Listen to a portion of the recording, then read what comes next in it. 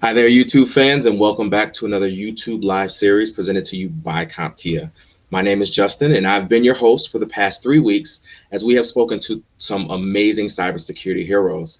Now, just to give you a quick recap, in our first episode, we spoke with Juan Fernandez, and he shared his story on how he tipped off the FBI of a potential threat of copy machines exposing patient information. And then last week, we spoke with Kira Hayes uh, as she explained how she was able to infiltrate a gaming network through a Discord server, where she then duplicated an account. And then within minutes, she was able to gain access to secured account information. So, I mean, these were some amazing stories being told. And if you missed them, I encourage you to go back and watch the full interviews. Uh, and tonight we have our third and final hero, Gabriela Ariza, who will share with you another incredible story with us. Um, but before I have Gabriela introduce herself, I want to remind everybody watching that we will be announcing the third and final winner of our Security Plus 601 bundle giveaway towards the end of tonight's broadcast. So stick around to see if you're that lucky winner. So now I think I'll have our special guest introduce herself to the audience. Hi, so my name is Gabriela Ariza, and I am a cybersecurity specialist. And I'm also on Instagram, fab underscore millennial. If you want to find out more information about cybersecurity, I'm always posting on there. Thank you uh, for that quick intro. And before I jump into it, if you haven't already, please subscribe to the channel, hit the like button and the notification bell just to be notified whenever CompTIA drops a video. Also, our great CompTIA staff will be addressing questions in the comment section, so feel free to drop any questions there. So, all right, I'm just gonna get right to it. Um, Gabriela, how did you get into security? I actually started in web development. Um, that was my first passion, and I decided to go get my master's. Uh, I went to, for information systems. And actually, during my master's was when I discovered cybersecurity thanks to a professor and his amazing class that just woke me up to how security plays in our everyday lives. And after that, I was like, I want to go ahead and pursue cybersecurity. Yeah, that's pretty cool. Um, what, what do you think has been the most rewarding thing about working in security? I think being able to just make an impact on everyday lives, um, just being able to work and help others through the passion that I love, which is IT, mm-hmm. um, is so rewarding. And I just find it really interesting as well. Cool, pretty cool. Now, I heard you just started a new job recently, so congratulations on the new position. Um, and I would like to know what your day to day is like as an IT professional in security. So, can you tell me a little bit about uh, what you used to do in your previous position? Like, what are your what's your day to day, or what was your day to day? Yeah, so my day to day was mostly communicating with government, military, and police um, being able to go to different parts of the US and being able to do certain scans and um, penetration testing and just seeing where were any holes in the systems and how we were supposed to mitigate the risks. So a lot of that was um, analysis and communicating with the customers and then also writing up reports um, and doing presentations as well. we all love those presentations. so um, you you you you have your bachelor's, you have your master's. Um, I will ask, do you have any comp or not necessarily CompTIA certifications? Those would be great. Do you have any certifications? And if so, what did you learn or gain from getting those? So I have a couple certifications. I have ITIL, and then I also have the CompTIA Security Plus certification. Um, I think ITIL is really important because a lot of times larger organizations and even government organizations are going to have that structure where you need to follow certain policies and certain procedures to be able to perform and have a great cybersecurity um, like structure. And then the security was actually really beneficial for me because even though I was already in the field when I had earned certification, it still gave me like the overall broad um, information because not all my day-to-day work um, covers like all of the security plus concepts so it was great to just have just a well-rounded um, certification for that. Do you plan on getting any others? Um, I do want to get the CISSP. That is a goal of mine. Um, but right now I'm celebrating my Security Plus wins. Congratulations with that. So now um, I want you to tell me about a time when you proactively identified a cyber threat or prevented a cyber attack.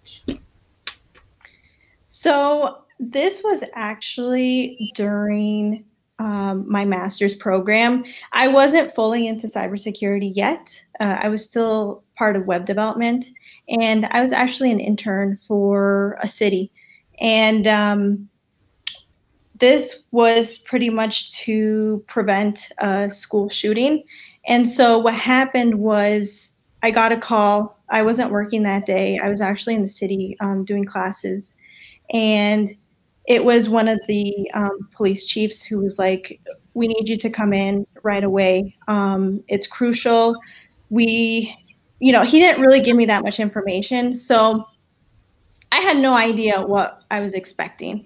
So I was like, "Yeah, I will head over there and I'll check it out." So I got there, and there were a lot of police officers, and they were all concerned. And he was explaining to me that an anonymous tip came in um, through our website and that we were limited on time. So this was around like 5 p.m.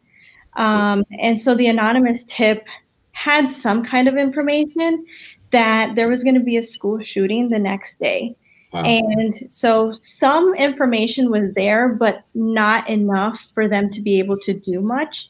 So he was like, Is there any way we can go ahead and figure out who sent this tip? Um, because we really need to contact them. Right.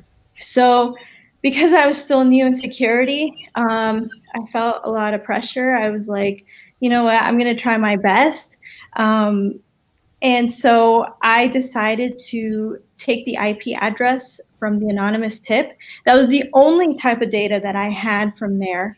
Mm-hmm. Um, and so I did kind of like a cross check, and I was able to pull up a physical address that was linked with the IP address.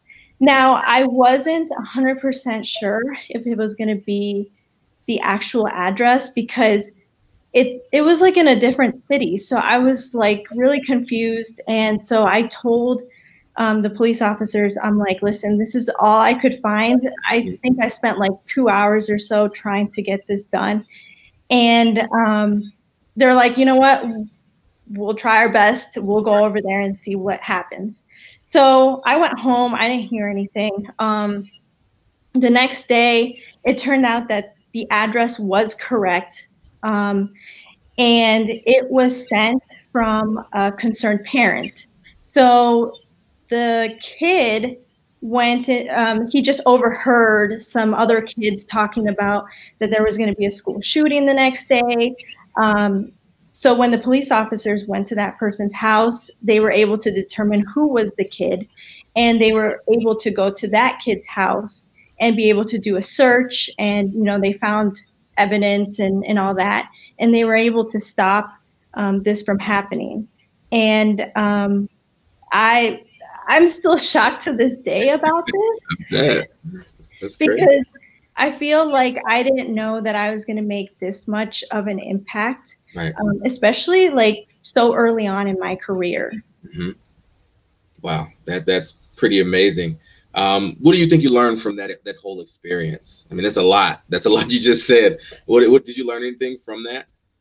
Yeah, so I have to say that I think it just like continued to open my eyes that I really wanted to go into cybersecurity um, because it actually does affect so many components of our lives and it saves lives, to be honest with you. I mean, even at my previous job, a lot of the systems that I would have to look at are 911 systems. And if those go down, people can't call 911. So this just like, I just learned so much that me as an IT professional can help others and can um, prevent harm in the community. without having to be like a public safety officer or anything like that.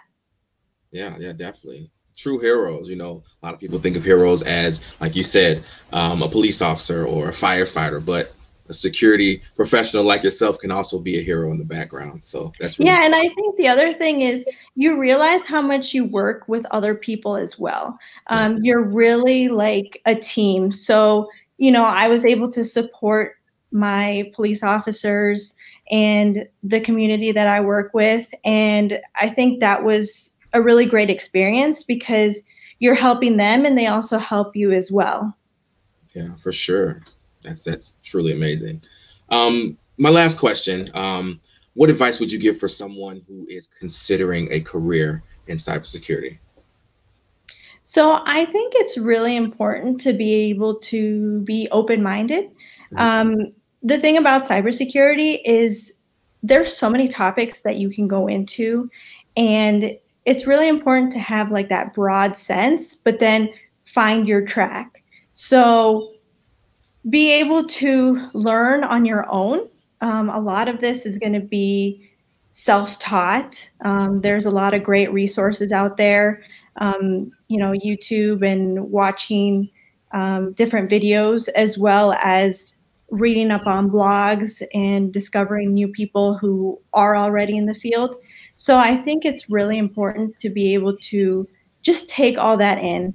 Um, that's going to make you go far in cybersecurity because this is an ever changing field. So you'll really want to get used to that early on um, because that's going to be the entire career. Yeah, yeah, for sure. Well, again, we this is another amazing story by an impressive IT professional. So, Gabrielle, thank you for sharing with us. Um, and now for the moment we've been waiting for, um, we're going to have our wonderful guest, Gabriela, announce our last winner of our bundle giveaway. So, Gabby, go ahead and announce the winner of tonight's bundle winner. Bundle giveaway. So the bundle winner is going to be Vito Perry. Congratulations on that IT bundle. Yes, congratulations, Vito. Um, definitely uh, use it wisely. You know, you had a lot of great advice from our, our special guest here, so definitely take advantage of that. So before I end tonight's broadcast, I would like to let you all know that uh, CompTIA's largest sale of the year is starting next week. It's our Cyber Week sale. I'm going to let you in on a little secret to gain uh, a little bit of early access. So um, if you live inside the U.S., uh, you just need to sign up for the CompTIA Rewards Program. Um, and if you're not familiar with that program, you basically get rewarded for sharing the CompTIA love. So for every friend that you refer to the CompTIA store, you'll earn a $25 gift card. And reward members also get advance notice on discounts and promotions, just like this one, our Cyber Week sale. So just check out the link in the description to sign up. Um, and we haven't forgot about those who live outside the US. So uh, we also have a special link in the description to receive early access as well. Also, again, if you haven't yet joined us on Discord, we invite you to continue the conversation over there. Uh, we have study groups for CompTIA certifications, as well as career advice and general tech discussions. Well, I think that's it. Um, I mean, we had a great, it was quick, but we had a great, impactful discussion with Gabriela tonight. Um, I really like to thank you all for tuning in tonight, and a special thanks to Gabriela um, for basically sharing your stories and your advice with us. And a special shout out to all of those of you who've been with us over the last three weeks as we have spoken to truly some amazing cybersecurity heroes. And remember, our biggest sale of the year starts next week. So check your inbox and follow us on social media uh, to find out if you can how to save on everything CompTIA. So again, thank you everyone. Thank you, Gabriela, for sharing with us tonight. We've had a wonderful evening. We've had a wonderful last three weeks talking to three amazing people. So thank you all again.